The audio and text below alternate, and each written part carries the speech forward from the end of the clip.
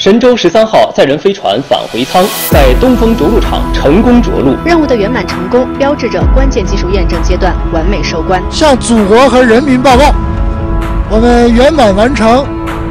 神十三飞行任务。我也想跟我的女儿说，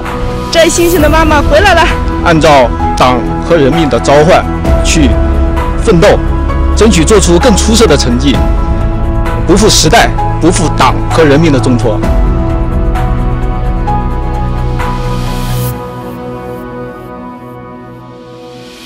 飞天梦啊，这是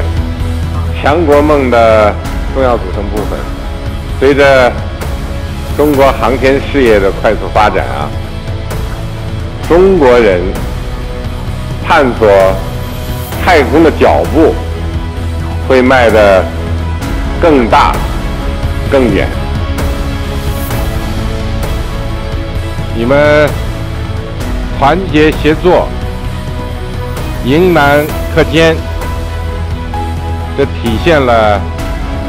一流的过硬的素质，在航天事业发展的征程上勇攀高峰，不断前行，为建设航天强国、世界科技强国建功立业，为实现两个一百年奋斗目标，实现中华民族伟大复兴的中国梦，不断做出新的、更大的贡献。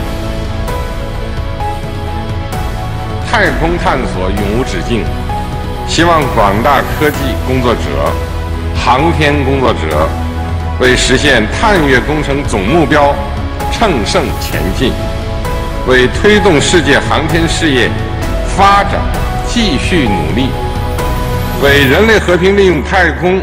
推动构建人类命运共同体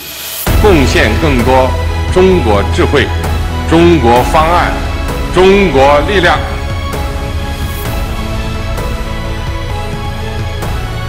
身处遥远太空，我们为伟大的党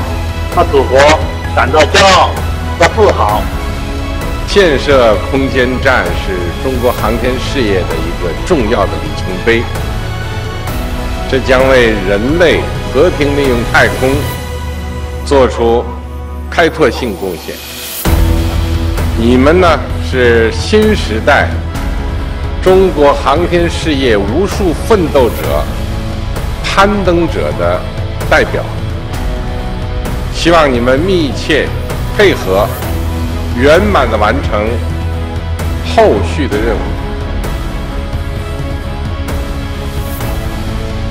希望同志们大力发扬两弹一星精神，载人航天精神。我们还是坚持面向世界航天发展前沿。